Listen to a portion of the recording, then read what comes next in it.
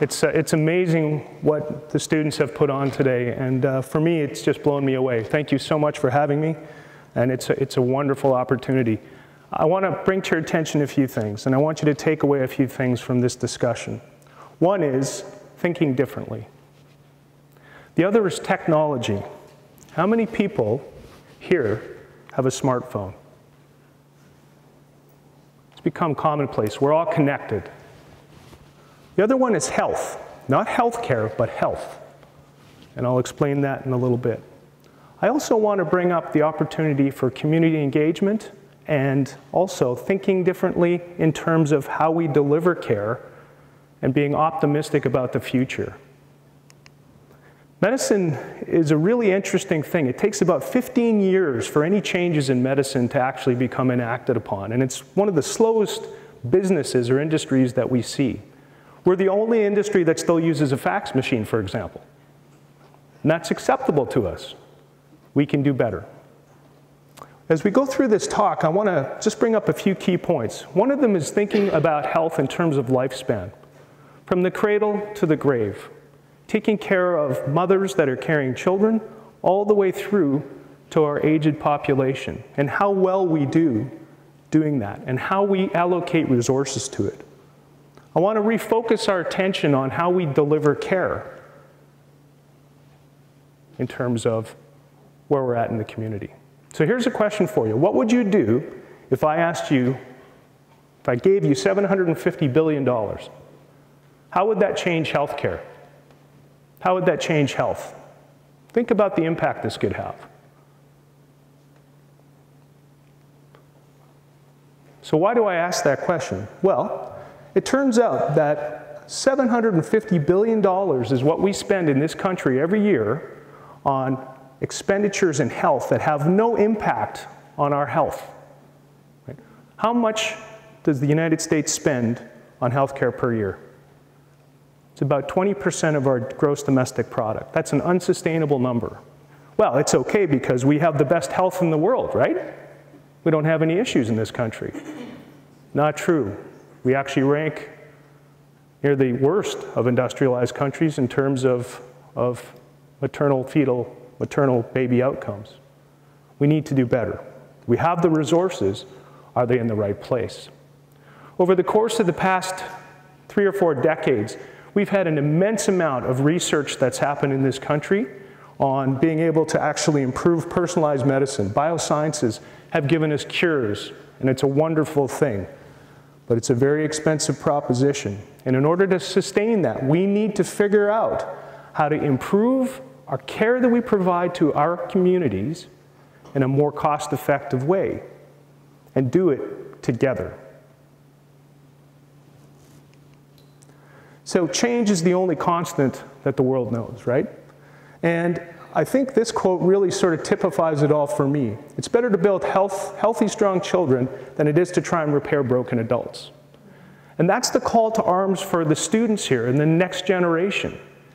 You all, and we're putting our faith in you, and we know you can do this. You have the technology, you have the skill set, you have the capability to understand the changes that we are starting now.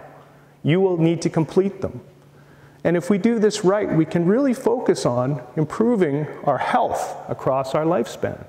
So the 20th century was focused more on adding years to somebody's life. This century must be focused on adding life to those years.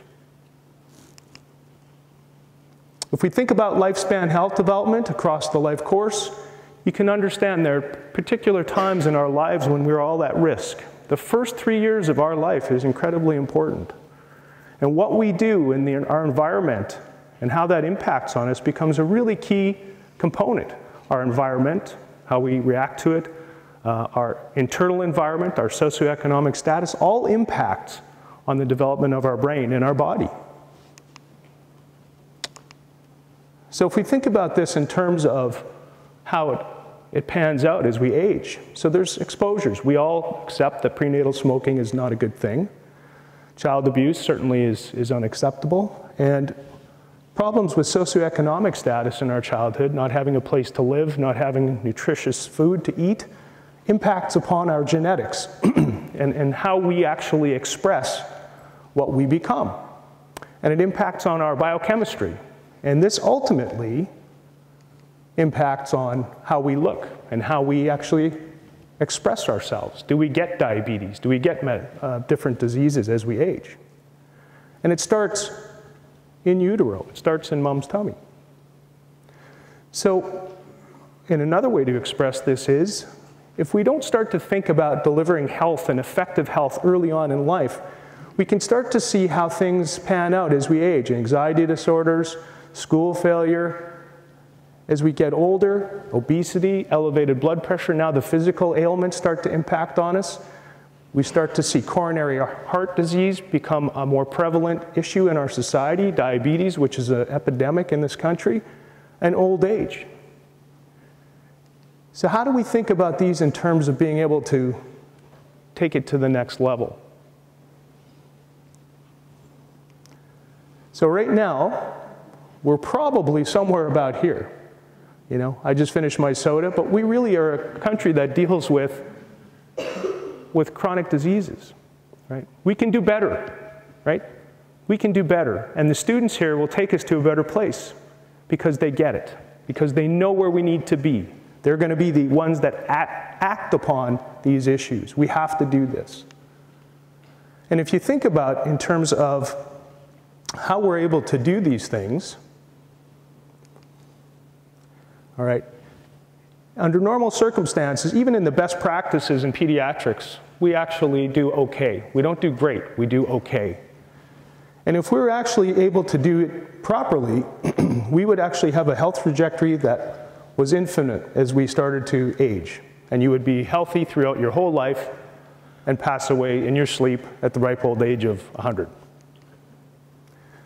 The challenge that we have is that many of us actually don't do well caring for our patients, and we don't have the opportunity to really improve their health. And this is the at-risk group. And if you think about this in terms of opportunity, we have such an opportunity to improve our socioeconomic status and how we actually care for people in this country that we have an opportunity to really do better. And it's, it, it's not hard to understand this. So in terms of opportunities, right, we want to reduce our risk factors. People say smoking is not good, right? We know that if we decrease smoking, that our health is better, that we, our, our overall health for our nation is better.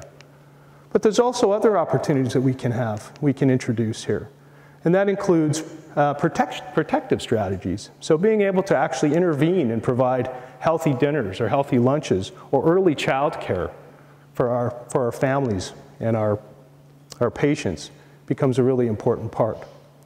And as we age, um, the whole concept here is to take our ages where we start to get these diseases like coronary artery disease and push them out to the 80s. So you can see early investment up front reduces the cost that we spend way down the line. And it's a lot cheaper to help a family find nutritious food, to help a mom take care of their infant, than it is to pay for coronary artery disease or chronic diabetes as we age. I think I'm having a tech issue here, guys. So.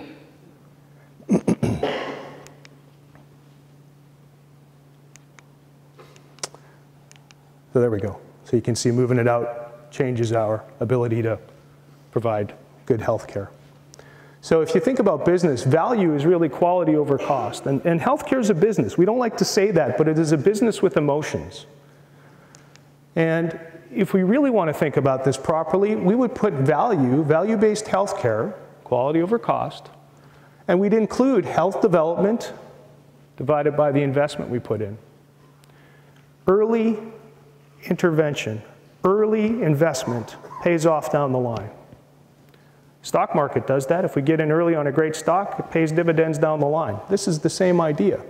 But the difference is, is that we must invest in our communities and we must start thinking differently about how we do things. And uh, from our perspective, it's the students, it's the, it's the next generation that's really going to take us there. Because they are thinking differently. They're a team. They're thinking globally. They're connected. They have the technology to do this. And one of the, I think, amazing things that I've been able to witness over the past five years is the advancement of telemedicine, the advancement of telehealth, and how we've been able to connect and improve access to people who weren't able to access care before. Be that in a rural setting, be that in, in a, a disparate population area, be that in an area where people just can't simply get to clinics. They can't get transportation. We had a, a, a fantastic um, insight with a recent uh, project that we did where we had a diabetes monitor that actually allowed us to monitor women who were pregnant who had diabetes. We were able to monitor their sugars remotely, and they didn't have to do anything. They would take their blood sugar, it would be uploaded to the cloud, that information was transmitted to our electronic medical record, and we were able to intervene early on moms that needed help. And what that resulted in was a reduction of babies admitted to the neonatal intensive care unit by about eight bed days, and that's at least $10,000 in savings. More importantly, though, those babies didn't get heart issues because of their diabetes, because of their mom's diabetes. They didn't get kidney issues, and I can tell you, in the short term, it was much better for the families. In the long term, the impact will be almost unmeasurable because we've been able to actually intervene early and, and alleviate them developing that disease. We did a similar project in adults, took a high-risk group of patients that had diabetes, and we were able to reduce their visitation to the emergency department by 70%. We kept those people in their houses, in their communities, where they needed to be with their families, their friends, and the caregivers. We kept them out of the hospital 65% of the time as well. That's all cost savings. But all that aside, it's so much better for the patient. We have the tech. We know how to do these things.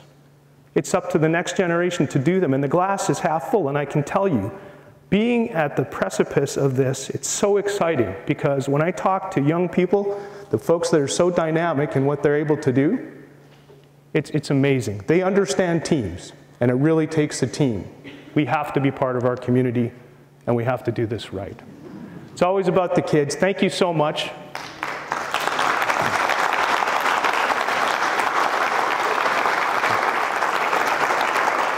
This is Wes, Wesley. Wesley's one of my transplant patients, and I, I just want to let you know his mom said it was okay to put this picture up. So, hard not to smile when you see that. Thank you very much.